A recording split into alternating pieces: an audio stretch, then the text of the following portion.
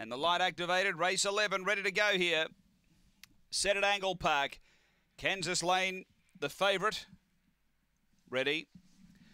On their way and stepping cleanly, Eustace Road down near the inside, going quickly, Oracle of Omaha. Eustace Road leads Oracle of Omaha down the back. Leechwood Lass three out to third. Then Little Vossi, Kansas Lane from Good Baloney and Old Mate Ben. Leader is Eustace Road, out a half length on Oracle of Omaha. Then Leechwood Lass and Kansas Lane straightening. Eustace Road clear over uh, Oracle of Omaha. Eustace Road uh, beats Oracle of Omaha. Third home Leechwood Lass. Fourth between Good Baloney and Kansas Lane.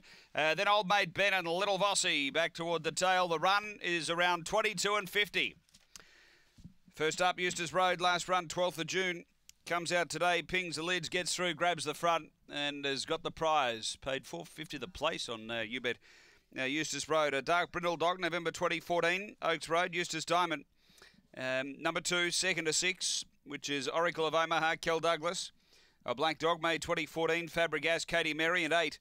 Leechwood Lass, Renata Maruchik. A red brindle bitch, January 2015. Oaks Road, Sweet About Me. It's 2681 after race 11 at Angle Park.